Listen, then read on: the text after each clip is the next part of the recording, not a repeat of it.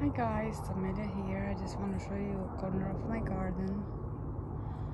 The outdoor garden here in the back yard.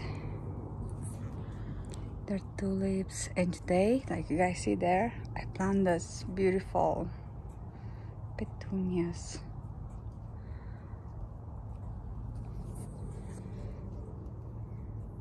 Still have the tulips.